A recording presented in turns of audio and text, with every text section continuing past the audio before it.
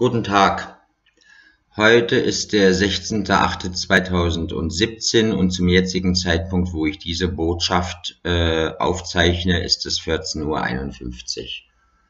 Guten Tag, sehr geehrter Herr Staatsanwalt Horstmann, der für mich zuständig ist oder jetzt wieder zuständig sein wird mit meinem Fall unter dem Ihnen bekannten Aktenzeichen.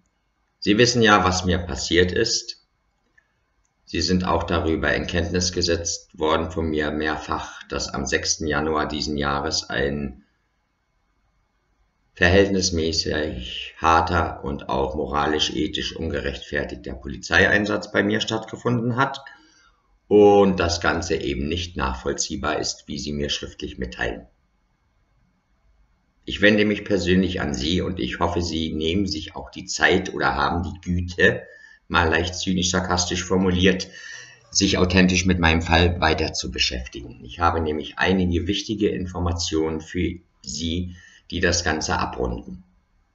Wobei ich mich fragen muss, ob Sie überhaupt an authentischer Aufklärung von Fällen in Bezug auf in große Not und sogar lebensbedrohliche Not, was meine Mutter und mich angeht, und das ist keine Spinnerei und Paranoia von mir, ob sie da überhaupt ein authentisches Interesse an Aufklärung haben. Die Justiz braucht sich nicht zu wundern, wenn ihr Ruf nicht der beste ist. Die Polizei, auch in meinem Fall, braucht sich nicht zu wundern, wenn der Ruf nicht der beste ist und viele Bürger eher dazu neigen, Streitigkeiten und sonstiges äh, untereinander auszumachen, egal ob es Deutsche sind oder ausländische Bürger mit Migrationsanteil, äh, statt die Polizei zu rufen.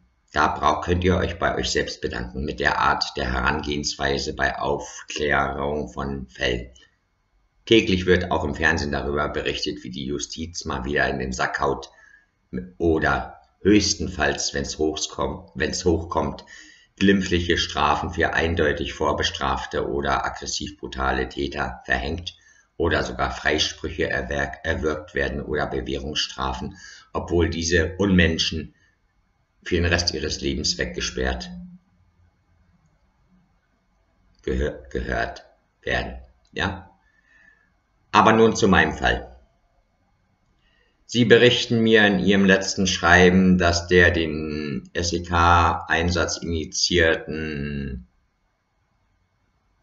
Mann mit falscher Identität als Daniel Becker seinerzeit eine Internetanzeige geschaltet hat.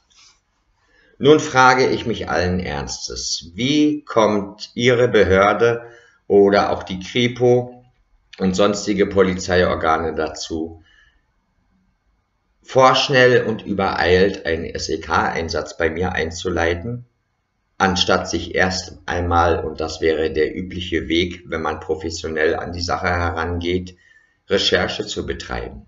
Es stimmt ja, dass ich ein Video gemacht habe, in dem ich sehr aggressiv rüberkam und polterte, in Aussicht stellte, dass ich Waffen außerhalb meiner Wohnung gehortet habe und äh, anreise und dann passiert was. Aber ebenso, und das erinnere ich gut, sagte ich am Schluss dieses Videos, dass ich natürlich nicht davon Gebrauch mache, sondern dann vor Ort die Presse und die Polizei einschalte. Das weiß man, das ist bekannt. Wie kann es sein, dass aufgrund eines früheren von mir hochgeladenen Videos, in dem ich von meiner Zeit als Krankenpflegerhelfer oder FSJler berichte und von einem Patienten, wie ich ihn versorgt habe und seine Not mit Medikamenten gelindert habe, jemand so unrealistisch und realitätsfern da aktive Sterbehilfe hineininterpretiert und das als Grundlage von ihren Kollegen bei der Polizei und Kripo genommen wird, hier mit großem Geschütz aufzufahren. Ja, und letztendlich eine bedrohliche, traumatische Situation für meine Mutter und mich zu erzeugen am 6.1. Ja? Wie kann ein Herr Oberinspektor oder Hauptkommissar, was einmal er für einen Rang bekleidet, wie der Herr Niemann vom Dezernat für Delikte am Menschen in der Keitstraße nähe der Urania, wohin ich dann auch im Nachhinein hinzitiert wurde. Und er war ja auch hier am 6.1. in meiner Wohnung, nachdem das SEK-Einsatzkommando wieder abgeschwört ist und alles hatte, was sie wollten und meine Wohnung durchwühlt haben. Ja, wie kann es sein, Herr Horstmann, ja, dass dieser Mann sich so instrumentalisieren lässt, statt erstmal Recherche zu betreiben? Ich bin einer der friedlichsten Bürger, die die Welt und das Land Deutschland je gesehen hat. Es gibt nicht das Geringste in meiner Vita, in meinem Lebenslauf, was man mir je zur Last legen könnte. Keine Drogendelikte oder Verstoß gegen das Betäubungsmittelgesetz, BTM, keine Gewaltdelikte, kein Betrug, kein Diebstahl, keine Urkundenfälschung, kein Erschleichen von Mitteln, ja, beim Arbeitsamt oder beim Sozialamt rechtswidrig, kein Schwarzfahren mit der U-Bahn, S-Bahn oder Bus hier in Berlin, nichts. Das Einzige, was man mir zur Last legen kann und was auch schon Jahrzehnte zurückliegt, dass ich mal in meiner Zeit in Westdeutschland, in Schleswig-Holstein, und das finden Sie vielleicht noch mal ohne Helm, äh, auf dem äh, Gehweg äh, zu einer Tankstelle mit dem Mofa meines damaligen Kumpels, auch eines Berliners, den ich dort kennengelernt habe und mit dem ich dann noch jahrzehntelang befreundet war, bis es zum Bruch kam, gefahren bin und dann in eine Polizeifalle hineingetappt bin obwohl man äh, noch äh, als Autofahrer an mir vorbeifuhr und hupte, um mich zu warnen. Und ich bin aber trotzdem reingefahren, weil ich keine Brille auf hatte. Das ist das Einzige, was ich mir je habe zu Schulden kommen lassen.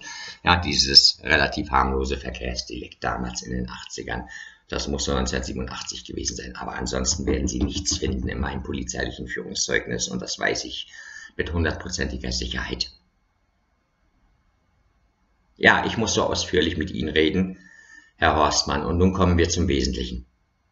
Wie kann es sein, dass man da nicht Recherche betreibt im Vorfeld, bevor man im, im großen Maßstab ausrückt und einen Bürger bedroht oder eine bedrohliche Situation für ihn erschafft? Sie können von Glück reden, dass ich in diesen Stunden meines Lebens, die mit zu den schwersten überhaupt zählen, vom 6. Januar herrühren vom SEK-Einsatz und die mich bis heute verfolgen und meine Mutter auch, so die Nerven behalten habe und nicht zusammengebrochen bin oder ausgeflippt bin.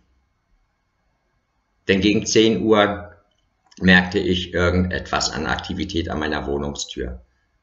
Guckte durch den Spion und konnte gerade noch mal so was Dunkles feststellen, machte die Tür geistesgegenwärtig auf und wurde dann auch schon von schwer bewaffneten SEK äh, Polizeibeamten überwältigt in die Küche gedrängt. Ich habe keinen Widerstand geleistet. Man hat mich professionell zu Boden gedrückt, mir Handschellen angelegt und mich dann in mein kleines Wohnzimmer zu meinem PC-Stuhl geführt und da musste ich mich hinsetzen und dann kommunizierte ich mit dem Beamten. Einer nahm dann auch seine Maske ab, ein verheirateter junger Polizist des SEKs oder der Kripo und dann ging das ganze Drama los. Ja, und ja, dann am 18.01. musste ich mit meiner Mutter nochmal, die sich auch da mit mir hinquälte mit ihren 83 Jahren und als Herzschrittmacherträgerin in die Keitstraße zum Dezernat für Delikte am Menschen zu Herrn Niemann, der mir ja auch schon hier durch den Besuch bei mir am 6.1. bekannt war und mich hier das erste Mal interviewte und habe nochmal wahrheitsgemäß geantwortet darauf, ob ich je aktive Sterbehilfe damals in jungen Jahren geleistet hätte oder nicht, was natürlich nicht der Fall war. Ich habe auch heute noch das Zeugnis von der damaligen Arbeiterwohlfahrt von dem Krankenhaus, dem Ida Wolf Krankenhaus in Britz äh, und habe damit Bestbenotung und Bewertung äh, abgeschlossen. Da heißt es unter anderem, Herr Baraka war stets in der Lage, sich in die Lage von Schwerstkranken hineinzuversetzen und hat seine Arbeit gewissenhaft und verantwortungsbewusst absolviert. So viel dazu. Ja, also am 18.01. bin ich dann nochmal mit meiner Mutter dahin getrottet. Dasselbe wurde nochmal aufgerollt. Herr Niemann und eine Schriftführerin, eine ältere und eine junge Praktikantin, eine Volontärin waren zugegen. Wir haben auch Kaffee zu trinken bekommen. Soweit war der menschliche Rahmen alles angemessen. Allerdings verwunderte mich dann der Umstand, dass ich vor Ort in seinen Büroräumen in der Keitstraße im Dezernat für Delikte am Menschen von ihm dazu aufgefordert wurde, zwei Speichelproben abzugeben. Doch damit nicht genug.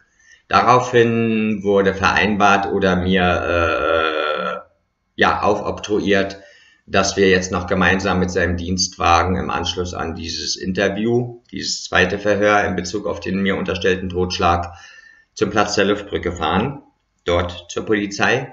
Und das geschah dann auch.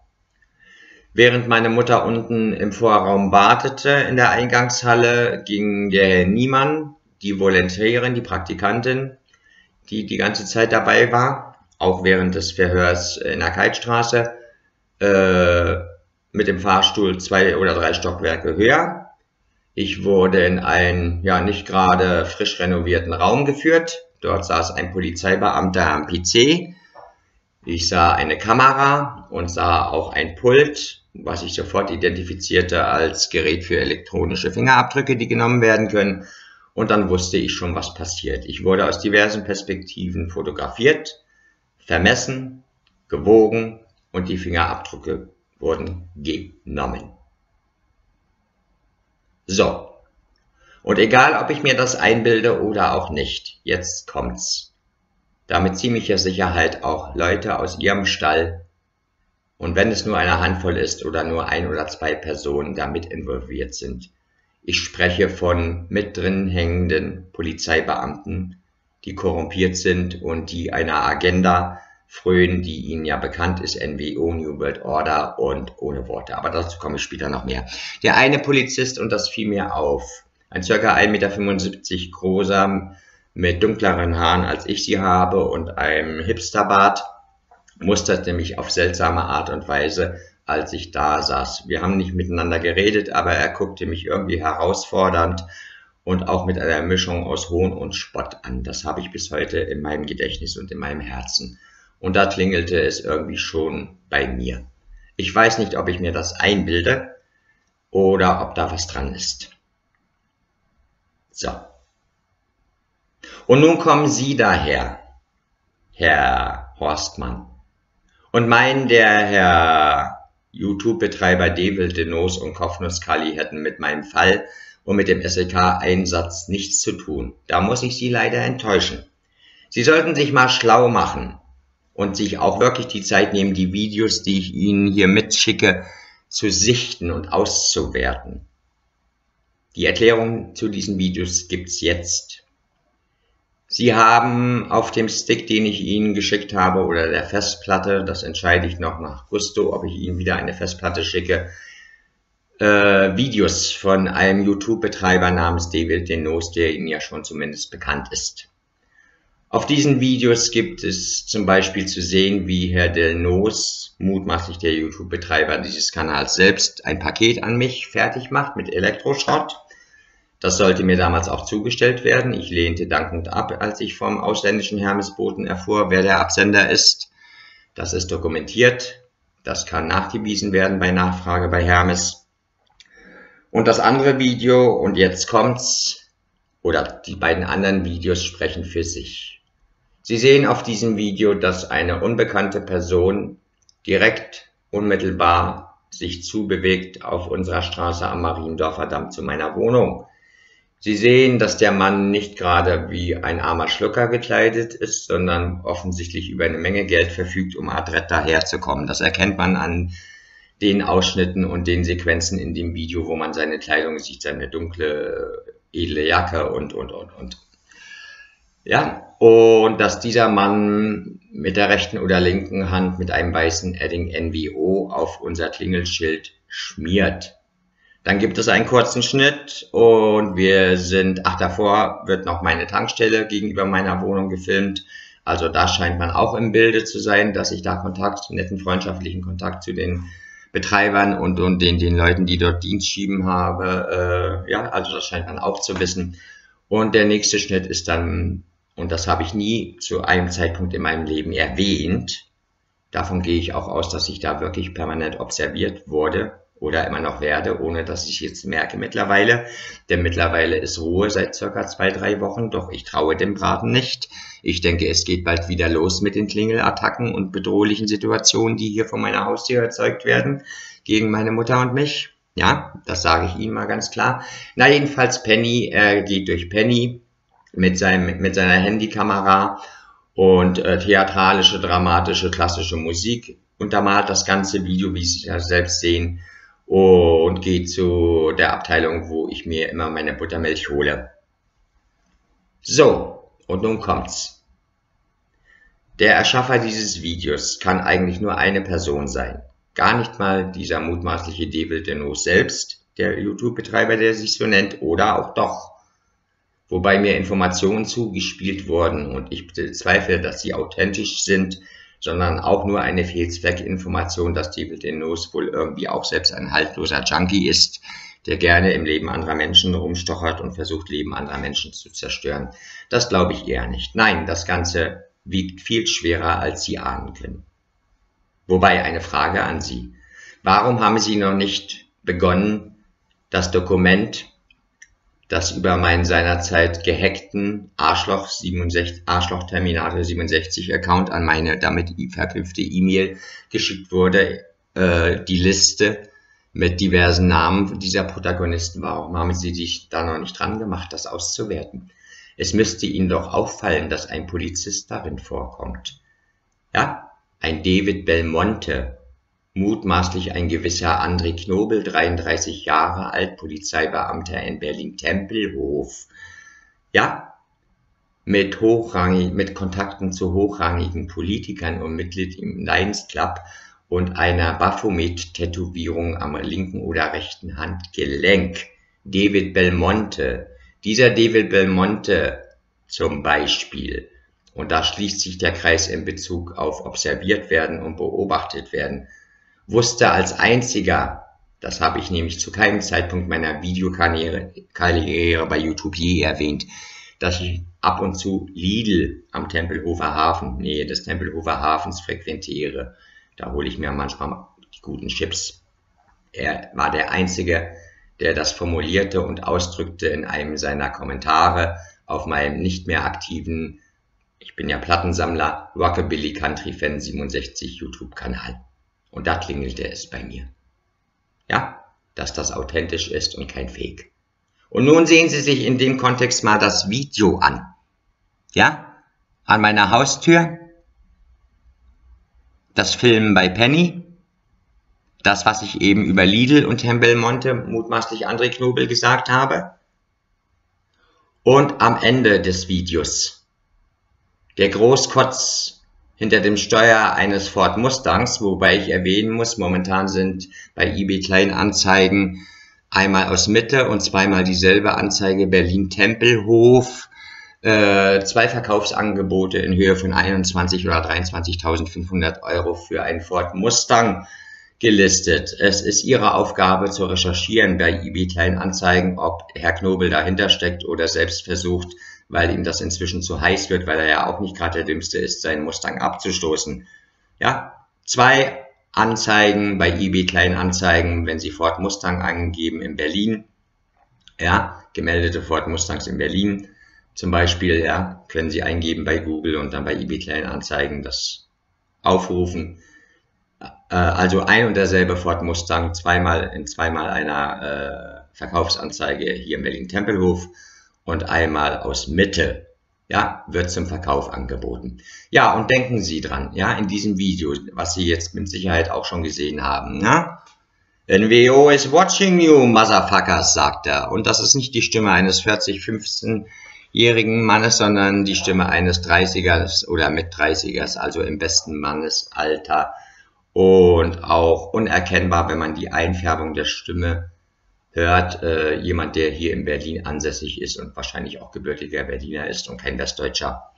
Ja, sehen Sie auf das Lenkrad, das Pferd des Ford Mustangs, ja, und ohne Worte. Und dann kommen Sie nochmal zu mir, Herr Horstmann, und leugnen Sie, dass das nicht zusammenpasst, ja, vom Psychogramm, was ich selbst in, letztendlich äh, in Bezug auf diesen korrupten Polizisten erkannt habe, dass das nicht wie die Faust aufs Auge passt. Ja?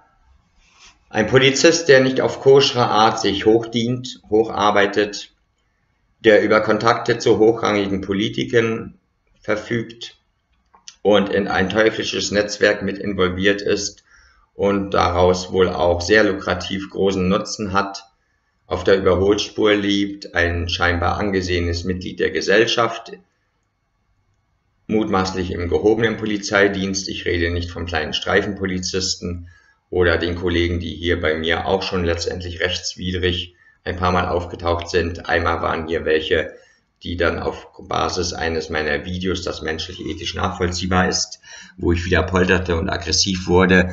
Und da hat einer der Beamten das sogar aufgezeichnet auf einem kleinen Diktiergerät. meine Ängste und so weiter. Da hieß es dann zum Beispiel, wichtige Leute hätten diesen Einsatz initiiert auf Basis des Videos, wo ich Leute mit dem Tode bedrohte, nachvollziehbar unter moralisch-ethischen Gesichtspunkten. Da las ich die Namen der Protagonisten, auch solcher, die ihnen vorliegen, schriftlich, ja, vor und sagte, wollt ihr alle sterben, ja, wenn mir oder vor, vor allem meiner Mutter was passiert und es mit ihr bergab geht. Ich habe keine Skrupel, jeden von euch unter die Erde zu bringen, wenn er mich hier weiter terrorisiert. Ja, und daraufhin wurde dieser Einsatz ausgelöst. Ja, nun fragen Sie mal den Polizeibeamten leichtstämmiger, dicklicher Natur, der meinte das Recht zu besitzen, mir so etwas sagen zu dürfen. Ja, wer sind denn diese wichtigen Leute, die meinen, dass sie das Gesetz einerseits missbrauchen können und meinen, über dem Gesetz zu stehen und meinen, hier sowas inszenieren zu können? Ja, und dann ist es auch eine sehr obskure Sache, dass auch andere Einsätze, die initiiert durch diese NWO-Psychopathen, nenne ich die mal, äh, hier manchmal auch sogar nachts um eins geklingelt wurde und dann auf obskure Art und Weise eine dunkel gekleidete Gestalt unten stand, die ich nicht einordnen konnte, wo ich schon vom Schlimmsten ausging, dass das ein gedungener Mafia-Killer wäre oder sonst was. Und dann erst nachdem ich bei der Polizei angerufen habe und man mir bestätigt hat, Kollegen sind vor Ort und ich soll doch bitte mal aufmachen, ja, was ist das für, was ist das für, für, für eine Polizeitaktik? Ja, einen nur vorzuschicken, statt gut erkennbar für mich als mehrere Polizeibeamte vor der Wohnungstür zu stehen und weit auch davon der Einsatzwagen. Äh, was wird hier gespielt, Herr Horstmann? Was wird hier gespielt? Ja? Und dann noch was anderes.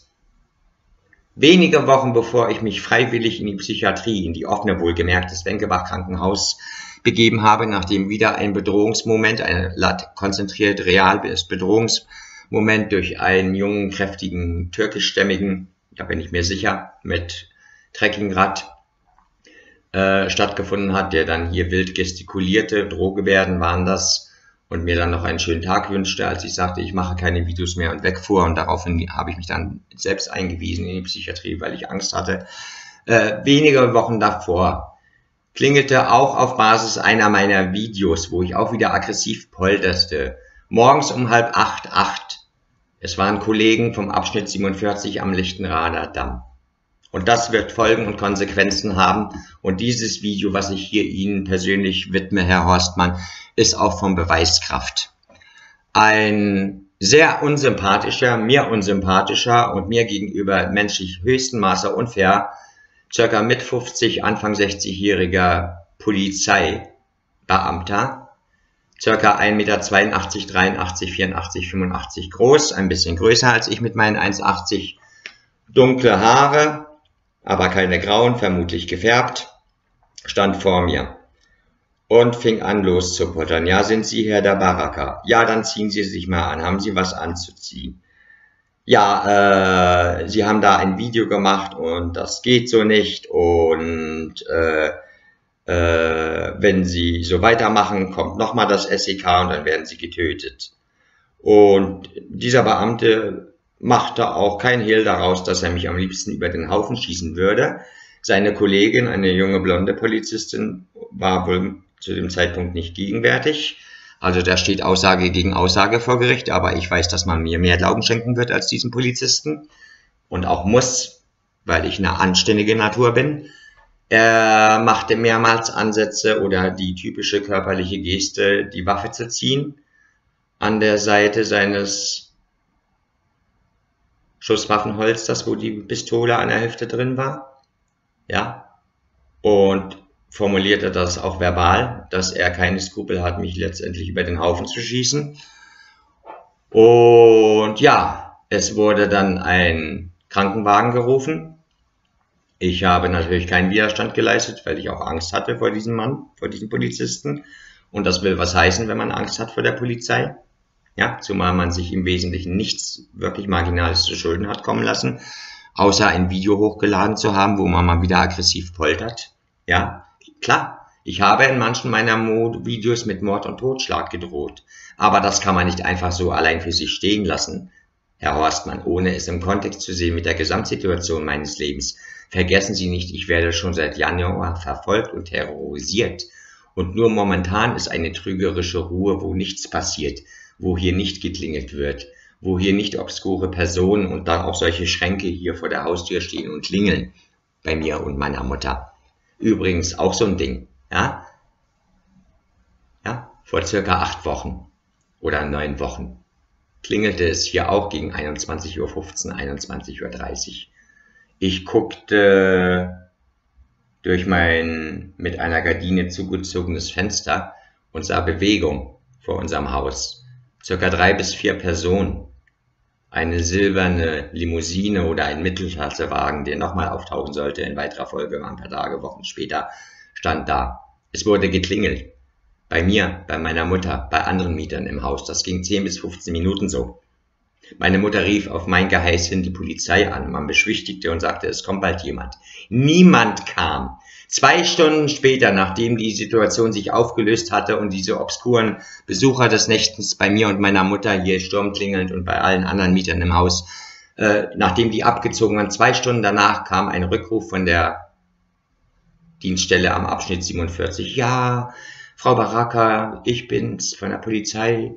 Äh, jetzt ist es ja schon spät, es sind ja jetzt schon zwei Stunden vergangen, die werden ja wohl nicht mehr da sein, gehen Sie mal besser ins Bett schlafen. So arbeiten Sie. So arbeiten Sie und Ihre Kollegen an der Front. Das menschliche Leben und Überleben, die Sicherheit von Bürgern, die sich letztendlich nichts zu Schulden haben kommen lassen, Herr Horstmann, ist kein Cent mehr wert. Und da wundern Sie sich, wenn die Justiz und auch die Staatsanwaltschaft und andere Amtsgerichtsbarkeiten und die Polizeiarbeiter selbst nicht immer den besten Ruf haben? Und auch rauskommt, wie in meinem Fall, dass offensichtlich auch der Polizeiapparat, zumindest was einige wenige Personen angeht, verstrickt ist? Sie machen sich strafbar, Herr Horstmann. Sie betreiben hier Straftatvereitlung, wenn Sie sich weigern, meine Videos zu sichten und jedes genau unter die Lupe zu nehmen und mir die Sachen ungeöffnet zuschicken, ja, und dann auch nur noch eines davon, ja, mich erreicht, was auch obskur ist. Denn die zweite Festplatte, da waren auch wichtige Videos drauf. Wo ist die abgeblieben? Können Sie mir das sagen? Wo ist die abgeblieben? Wer hat die entwendet, wohlweislich? Wer hat die zweite Festplatte, 500 GB Festplatte, die ich Ihnen auch vor Wochen oder Monaten zugeschickt habe zur Auswertung, wer hat die entwendet und mir vorenthalten?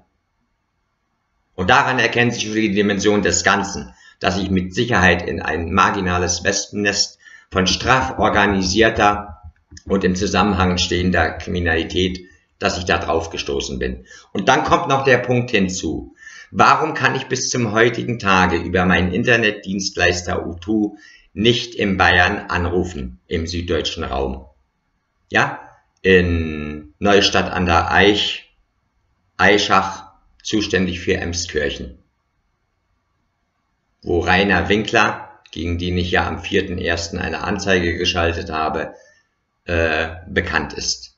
Warum komme ich nicht durch telefonisch bis heute zur ständigen Vertretung des Freistaats Bayern hier in Berlin?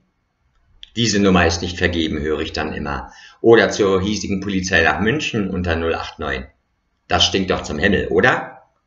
Ich kann ja noch nicht mal, Herr Horstmann, wenn ich das beabsichtigen würde. Zwei voneinander unabhängig, aber für solche Fälle wie Cybermobbing und Stalking und so weiter zuständige Anwaltskanzleien äh, hier in Berlin anrufen, komme ich telefonisch auch nicht durch. Was wird hier gespielt, Herr Horstmann? Ja, ich nehme Sie in die Pflicht. Und damit Sie gleich Bescheid wissen, dieses Video, so wie Sie es jetzt vorliegen haben, ist inzwischen öffentlich durch meine Beziehung zur Presse. Ein unabhängiger, aber renommierter und seriöser Journalist dokumentiert meinen ganzen Fall mit einem ausführlichen Artikel, wo ich auch zutiefst ins Detail gehe mit allen Einzelheiten, so wie ich Ihnen das hier ansatzweise auch mitteile. Jetzt erzeuge ich den Druck, der nötig ist, dass die Justiz und Menschen wie Sie auch funktionieren. Sie hätten sich nicht im Jurastudium für sechs Jahre oder mehr bis hin zu ihrer Karriereleiter hochstolpern, bis zum Staatsanwaltschaft. Das hätten sie nicht machen brauchen, wenn sie kein authentisches Interesse auf, an Aufklärung von Delikten am Menschen und Menschen, die hier in die Opferrolle gedrängt werden und deren Leben vergewaltigt wird und die bedroht werden, auch in Leib und Leben, letztendlich dran hätten sie sich das schenken können, dann wären sie besser Pizzabäcker geworden, sage ich mal, leicht respektlos, ja, oder hätten eine Hotelkaufmannlehre begonnen, ja, wenn sie müde sind, ja, von ihrer Arbeit, die den ganzen Menschen mit Herz, Verstand und auch Empathie für die Mitmenschen erfordert. Ja? Damit gebe ich mich nicht zufrieden. Ja?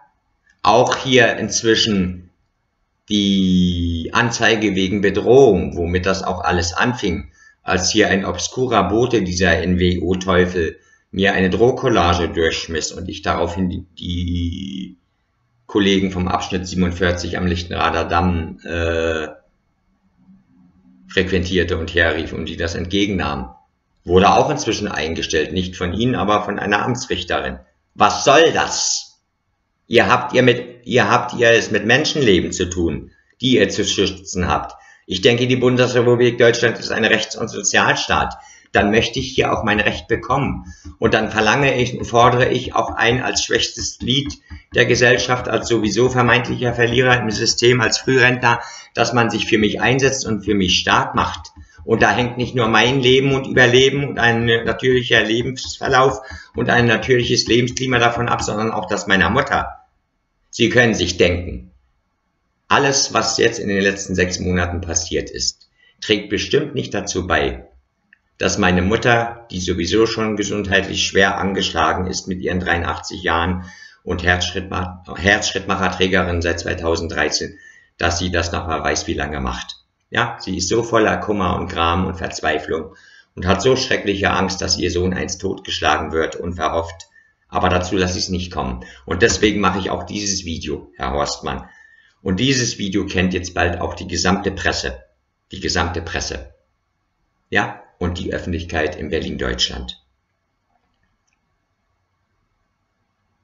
Ja, so viel zum Thema Devil den Los. Ja?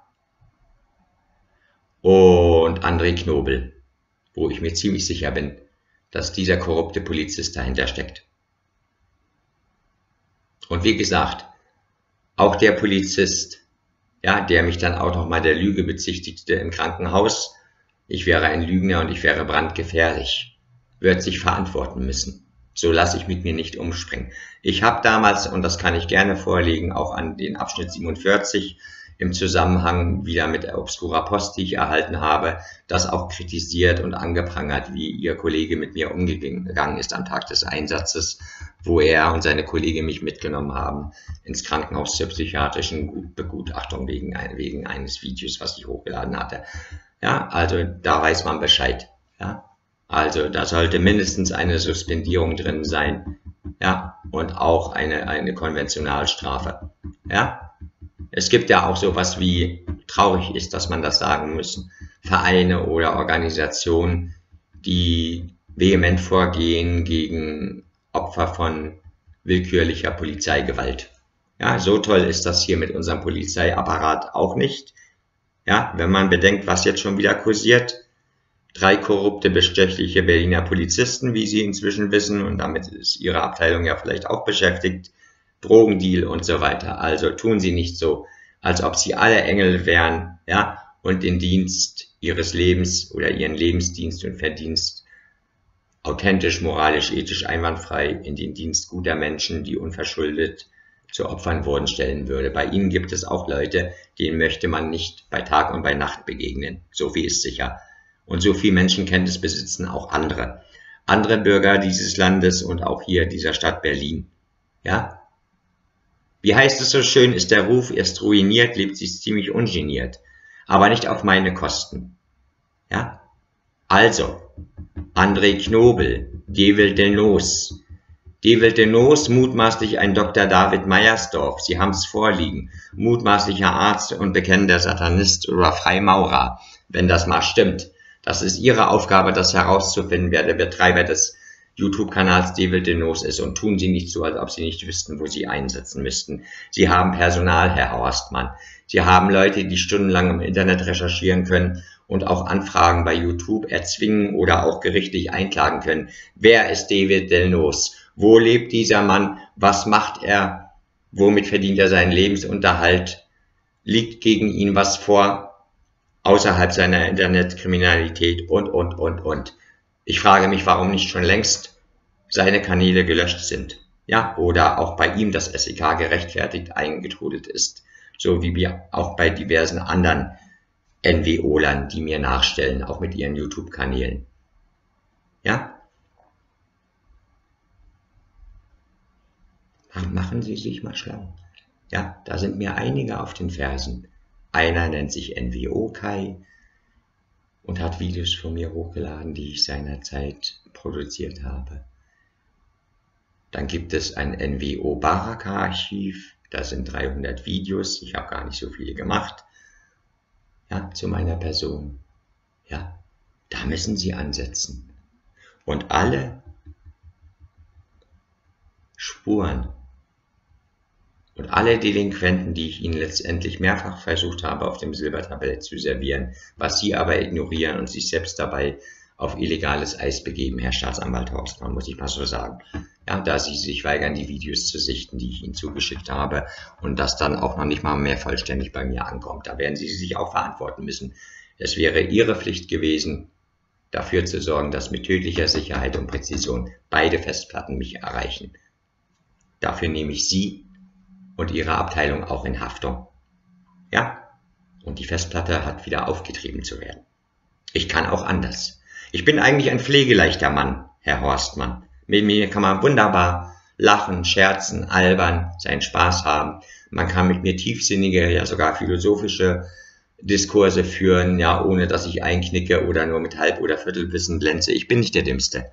Auch wenn ich manchmal vielleicht etwas einfältig, naiv oder auch emotionell zu impulsiv rüberkomme in meinen Videos, aber ich weiß, was Phase ist und ich weiß, was das Leben ausmacht und auch das Überleben.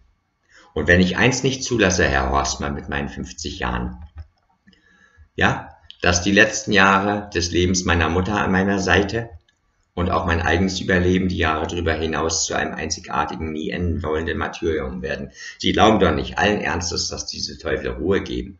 Ich wette mit Ihnen, so wie die Sommerferien vorbei sind und das Pack aus dem Urlaub oder woher auch immer wieder zurück ist, geht das hier wieder los mit obskuren Hubkonzerten vor unserer Haustür, mit renitenten Klingeln von obskuren Personen, die hier vielfach schon aufgetreten sind, ja, oder Vorfahren mit Autos und hier kleine Grüppchen sich bilden, ja, und solche Kleiderschränke hier versuchen reinzukommen, ja, wie schon geschehen, dreimal mindestens, ja, oder auch Klingeln in Abwesenheit von mir, wo meine Mutter mir dann berichtete, dass schon wieder bei ihr geklingelt wurde, auch am Wochenende, ja, wo man niemanden erwartet, also, irgendwo hört's auf.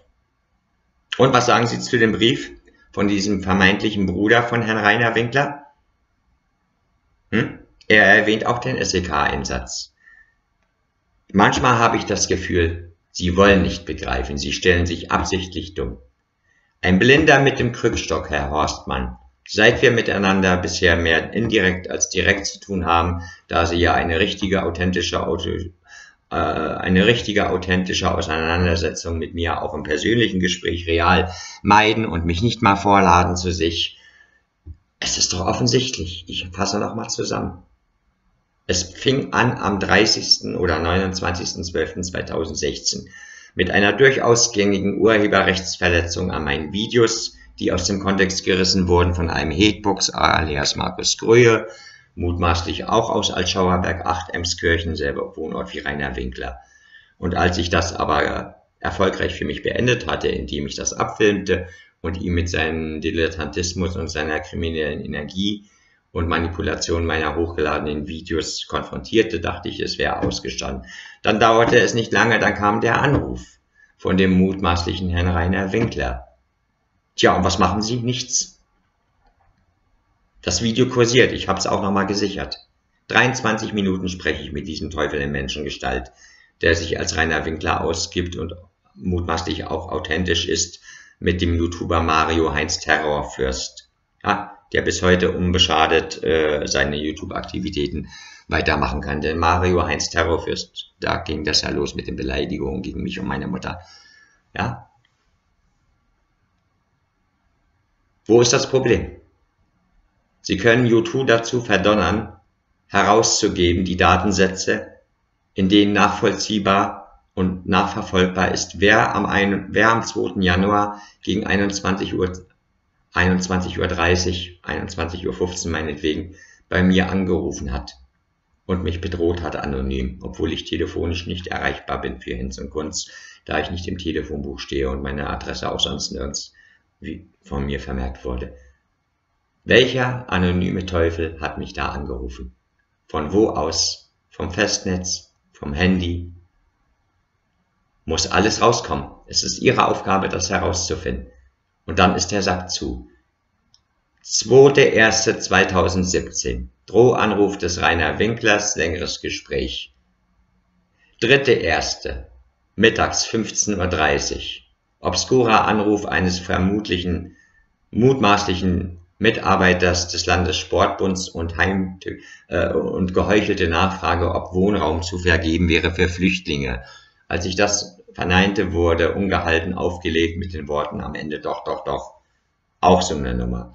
Am 4.1. platzte mir der Kragen. Gegen 16.30 Uhr begab ich mich auf dem Weg zur Götzstraße zum Abschnitt 6. Ja, Alttempelhof. Mit Beweismitteln. Mit einer Strafanzeige gegen Rainer Winkler. Und wissen Sie, was da passiert ist? Man ahnte es bereits und wusste es. Und das hat bestimmt nichts mit meiner seelischen Grunderkrankung zu tun, denn ich leide nicht an Wahnvorstellungen oder Paranoia oder bilde mir etwas ein. Auf dem Weg zur U-Bahn, in der U-Bahn selbst, kurz vor der Rolltreppe, fiel mir etwas markant auf. Da lag auf dem, auf dem, und so gut kennt mich eigentlich niemand hier in Berlin, da lag auf dem Kartenentwertungsautomaten. Eine Schachtel Pall die große mit 26 Stück, die ich ab und zu rauche, blau, schadstoffarm, lag da, ungeöffnet. Können Sie mir folgen? Also man wusste, was ich vorhabe. Auf dem Rückweg später, nachdem ich die Anzeige gestellt hatte, fiel mir auch auf, dass drei oder vier Polizisten so schräg an mir vorbeigingen. Das kann ein Zufall sein, muss nicht was mit mir zu tun haben, aber Nachtigall, ich dir trapsen, wie man hier in Berlin sagt. So wach und aufmerksam bin ich. Und Sie wollen mir erzählen, das Ganze ist kein abgekartetes Spiel? Die Frau mutmaßliche Hauptkommissarin Frau Breuer, eine zierliche kleine Blonde, eigentlich ganz sympathische Mitreißigerin, hörte sich geduldig meine Anzeige und meine Beweggründe an. Ich gab auch zu Protokoll, dass ich psychisch vorbelastet bin, aber soweit alles in Ordnung ist und dass ich mich bedroht fühle. Sie saß längere Zeit vor ihrem PC, vor ihrem Laptop und wusste mit Sicherheit schon, was zwei Tage später passieren wird und angezeigt ist. Auf meine Frage hin, wie es denn um Deutschland bestellt ist, ob man schon letztendlich infiltriert ist von der aus Amerika delegierten NWO-Agenda, New World Order-Agenda, verneinte sie das, konnte mich dabei aber nicht angucken. Also hier stimmt doch etwas nicht, Herr Horstmann, oder? Die Anzeige wurde bis heute nicht weiter bearbeitet. Ihr habt das alles unter den Tisch fallen lassen, aber ich sage Ihnen, ich erhalte die Anzeige gegen Rainer Winkler aufrecht. Und das kriegt jetzt die ganze Welt oder die Bundesrepublik Deutschland mit, denn dieses Video, was Sie hier kriegen, ist nicht privat nur für Sie oder für Sie als äh, Staatsanwalt. Das geht die ganze Öffentlichkeit an. Es soll jeder wissen, was für ein mieses Spiel mit mir und verantwortungslos und dem Leben meiner Mutter gespielt wird und was man meint, uns antun zu dürfen. Uns anständigen, grundanständigen Menschen und Bürgern, die sich nie eben im Leben etwas zu schulden haben, kommen lassen im Kontext, im Umgang mit Mitmenschen und mit der Gesellschaft. Wer uns noch von früher her kennt, meine Mutter und mich, weiß, wie gutmütig wir sind und wie herzlich. Und dass niemand bei uns hungrig oder durstig vom Tisch aufsteht, was man längst nicht, wenn er zu Besuch bei uns ist, was man längst nicht von allen Bürgern dieses Landes behaupten kann. Ja, wenn man Bekanntschaften oder Freundschaften hat. Ja, also es reicht. Es reicht. Ich habe eine Mission als Mensch. Ich habe eine Mission als Sohn, der seine Mutter über alles liebt und ihr auch zutiefst etwas schuldig ist und auch dankbar ist. Meine Mutter hat mich nie verstoßen auch nicht in den schweren Jahren meiner Lebenskrise, früher mal als psychotisch erkrankter junger Mann. Das liegt ja alles hinter mir. Sie hat immer zu mir gestanden und hat mich nie abgeschoben in die Psychiatrie oder in die Hände von Dritten, weil ihr das alles zu viel werden würde. Sie hat sich immer schützend vor ihren Sohn gestellt. Und nun stelle ich mich schützend vor meine Mutter. Und auch vor mich selbst. Und das ist mein gutes Menschenrecht. Das ist mein Geburtsrecht. Und ich lasse nicht zu, Herr Horstmann, dass irgendwelche Psychopathen, die sich einbilden, ja, einen Bund mit dem Bösen schließen zu müssen und hier Menschen verachtend auf Menschen losgehen und so weiter, mir mein Leben zerstört und vergiftet. Und ein ständiges Klima aus Paranoia um mich herum erzeugen, dass ich mich nicht mehr wohlfühle in meiner Haut. Sehen Sie sich das Video an von Fritz, dass ich ihn auch auf die Festplatte gepackt habe. Einer, der mir helfen wollte, aber ich denke, der Mann hat selbst genug Probleme. Ja? Es ist Ihre Aufgabe, das herauszufinden. Es dürfte Ihnen nicht schwerfallen, diesen Fritz ausfindig zu machen. Depressiver Art. Dasselbe Schema wie bei den kriminellen YouTubern. Ja, dann wissen Sie, wo der Mann ist. Und mir wurde auch mitgeteilt, dass auch der schon umziehen musste und weil er ständig bedroht wurde und so weiter. Also ich bin kein Einzelfall. Sehen Sie sich das an. Ja, was er zu sagen hat in Bezug auf NWO und was man mich auch glauben machen will, aber wo ich mir wiederum ziemlich sicher bin, das ist nicht so weit weg von der Wahrheit, was ich hier sage. Ja, auch in Bezug auf diesen korrupten Polizisten aus Tempelhof. Ich erwarte bald ein anständiges Feedback von Ihnen, Herr Horstmann. Und mehr noch erwarte ich, und das darf ich einfordern, als betroffener Bürger, der in die Schusslinie von Menschen und damit verbundenen Kräften geraten ist, dass ich nicht ahnen konnte, dass sich sowas daraus entwickelt, ja, dass Sie sich schützend vor mich stellen. Denken Sie, es macht mir Spaß, Ihnen zu schreiben, dass ich hier äh, erwäge, zu beantragen, dass mir ja und meiner Mutter Polizeischutz zukommt? Sie wissen doch gar nicht, was hier alles passiert. Leben Sie mein Leben, Herr Horstmann? Klingelt man bei Ihnen tagsüber, nachtsüber? Will man Ihnen Möbel schicken auf Ihren Namen mehrfach? Kommt bei Ihnen fünfmal am Tag der Pizzalieferdienst? Auf Ihren Namen? Kriegen Sie Bedrohpost? Wo dann ein Teil davon auch schon bekannt ist äh, bei den Leuten im Krankenhaus, wo ich war? Man ist bestens im Bilde. Es gibt diverse Augen- und Ohrenzeugen in Bezug auf meinen Aufenthalt im Krankenhaus. Das sind keine Einzeltäter. Das ist eine straff organisierte Gruppe von mehreren Personen, allesamt psychopathisch und menschenhassend, die unter dem Siegel NVO New World Order Agenda zumindest plakativ, ja, um den Eindruck zu erwecken, hier Unwesen treiben. Und das Ganze bekommt auch eine besondere Würze und Note, dass ich da sogar falsch liege und es wirklich so ist. Und diese, Original, diese Verbrecherorganisation, nenne ich mal so, und diese Personen, die sie bilden, wirklich im Auftrag einer New World Order Agenda aus Amerika delegiert hier sowas anrichten in Europa und in Deutschland und an Bürgern wie mir. Ja? Denken Sie immer dran. Warum blockiert YouTube mich und meine Leitung? Was will man hier vertuschen und versuchen zu verhindern? Das ist nicht nur für Sie relevant. Das reicht hin bis, und den habe ich auch inzwischen informiert, neulich Nacht, telefonisch, man weiß Bescheid in groben Zügen, Verfassungsschutz. Das ist verfassungswidrig. Dieses Land hat mir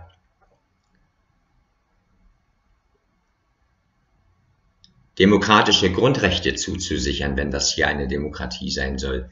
Und zur Demokratie gehört es auch, dass ich frei entscheiden kann, wann ich wo anrufe, ohne darin behelligt und gehindert zu werden, wenn ich mir was davon verspreche, wie in meinem Fall. Ja? Das Recht wird mir einfach genommen. Wer steckt dahinter? Und dann bedenken Sie auch, Telefonica Germany spanisches Unternehmen, aber hier in Deutschland Hauptsitz O2 in München. Klingelt's? Übrigens meinte dieser mutmaßliche Herr Rainer Winkler bei dem Gespräch am 2.1. am Telefon, was als Video auch vorliegt und was Sie sich auch zu Gemüte führen können und unschwer finden werden im Internet, das packe ich Ihnen jetzt nicht nochmal mit auf die Festplatte. Irgendwann mal ist auch gut. Sie, Sie, Sie verweigern sich ja bisher, das Videomaterial zu sichten. Aber egal, das Ganze ist jetzt hier auch bei der Presse und öffentlich, auch dieses Video. Dieser Rainer Winkler meinte äh, lakonisch am Telefon dann auch, dass der Freistaat Bayer schon längst unter dem Einfluss und Machtbereich der Illuminati NWO ist und dass er auch Kontakte nach oben hat, meinte er wortwörtlich, und dass man mir jetzt wohl die Daumenschrauben anzieht und dass ich schon sehe, was ich davon habe, wenn ich meinen Kanal nicht lösche. Wo ist das Problem? Ich denke, es gibt Experten, Sie haben doch die technischen Möglichkeiten, Herr Horstmann, und können veranlassen, veranlassen, dass äh, ein Video ausgewertet wird. Sie haben die technischen Möglichkeiten oder können das erzeugen, äh, dass man hört, welche Stimme spricht. Dass man den Mann im Hintergrund, der mich in ein perfides Gespräch verwickelt und wo ich dann versuche auch noch philosophisch mit dem zu kommunizieren, wie diese Stimme klingt, ob da mit einem Stimmverzehrer gearbeitet wurde oder nicht. Denn es gibt auch Videos auf YouTube, Herr Horstmann, in denen deklariert wird, dass Rainer Winkler, dieses dicke, unmögliche Unikum, der sich harmloser und selbst als Opfer skizziert und darstellt, als er ist, auch mit Stimmverzehrer arbeitet. Also, da schließt sich doch wieder der Kreis. Ich sage es Ihnen, ich erhalte die Anzeige vom 4.1. gegen Herrn Rainer Winkler, der mutmaßlich zumindest im Zusammenhang mit der ganzen Intifada gegen mich und meine Mutter und unser Leben steht, aufrecht. Ich nehme die Anzeige gegen Herrn Winkler nicht zurück. Die Anzeige, die ich am 4.1. geschaltet habe. Und ich zwinge Sie jetzt dazu, auch durch dieses Video diese Anzeige authentisch weiter zu verfolgen und zu verarbeiten. Ich höre nicht eher auf, bis all diese Herrschaften, wie ich sie genannt habe, über den mutmaßlichen korrupten Polizisten André Knobel, Devil Delnos und seine Hintermänner, dann bitte auch noch um den mutmaßlichen Pseudo-Juden, der das Judentum in äh, gefährliche Nähe zum modernen oder klassischen Satanismus rückt, mit denen an Informationen, was über ihn vorliegt, angeblicher Jaron Wiesenthal, Staatsanwalt in Frankfurt am Main und Freimaurer, Satanist, bekennender hohes Tier, ja, Johann Grafenfried, ja, der mich auch beleidigt hatte, ja, als arbeitsscheu und so weiter und auch meine Mutter beleidigt hatte. Ja? Also. Sie haben jetzt keine andere Wahl mehr, Herr Horstmann, als aktiv zu werden. Denn dieses Video hier, das jetzt schon fast eine Stunde lang von mir aufgezeichnet wird, ist inzwischen veröffentlicht bei meinem Journalistenfreund. Und der hat keine Angst vor diesen Leuten. Und der hat auch keine Angst vor korrupten Polizisten oder Polizeibeamten oder meinetwegen Postbeamten, die da alle mit drin hängen. Ja? Die Öffentlichkeit, die ich hier mitschaffe. Und das ist hier immer noch ein 80 Millionen Volk. Und da sind etliche Millionen oder auch Hunderttausende dabei, die sowas auch nicht gutheißen, wenn sowas an einem ihrer Mitbürger verbrochen wird. Möge er teilweise selbst schuld sein an der Entwicklung, was ich durchaus in manchen Punkten einräume, oder auch nicht.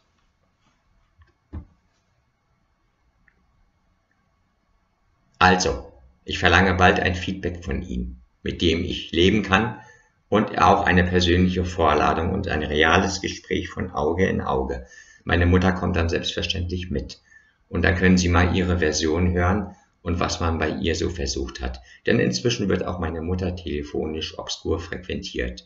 Und das ist sogar schon geschehen, bevor der ganze Fall sich manifestierte. Und das ist das Seltsame.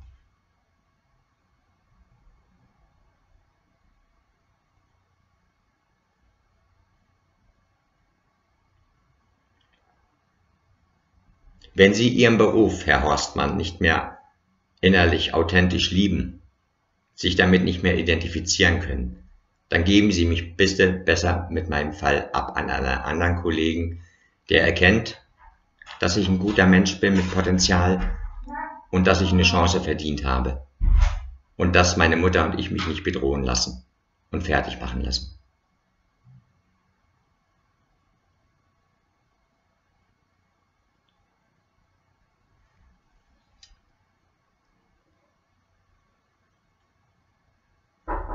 Ja, Moment. Meine Mutter klopft gerade. Sehen Sie sich die Videos an und werden Sie endlich richtig aktiv. Ich lasse nicht locker.